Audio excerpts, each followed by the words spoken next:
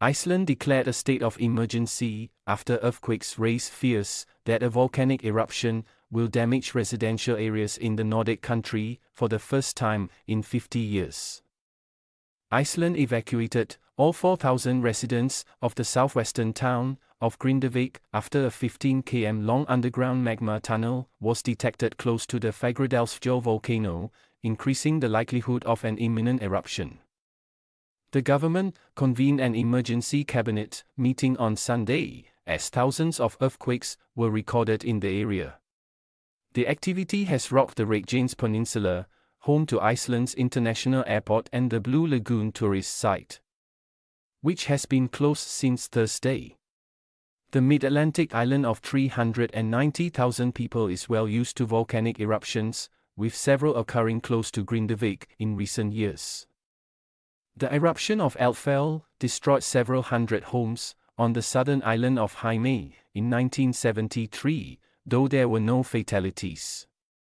The 2010 explosion at Eyjafjallajökull closed much of European airspace for almost a week after plumes of ash clouds spread south. Volcanologists said there is a lower risk of a big ash cloud from this volcano, but that one was possible if eruptions occur at sea. Grindavik is only 19 kilometers from Keflavik Airport. Iceland's main international entry point, but flights are carrying on largely as normal. Huge cracks have appeared in roads around Grindavik. Authorities said on Sunday that it should be safe for residents to return to collect essentials and evacuate pets and livestock. Subject to close monitoring. I felt the most scared for my life I have ever been, said American basketball player Danielle Rodriguez, who lives in Grindavik, about the evacuation on social media platform X, formerly Twitter. The ground started shaking so much I had to grab a hold of the car and honest to God, for a good 30 seconds I felt as though the ground was going to crack open and take us both, her girlfriend and her. She added.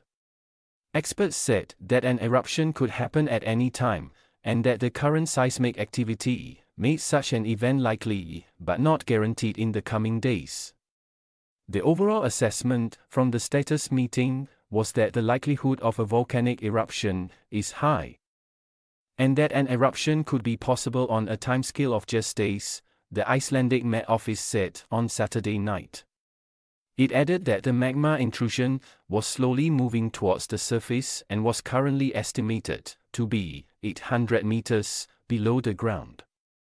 The likelihood of an underwater eruption had also increased, so preparations must be made for the possibility of explosive activity, it added.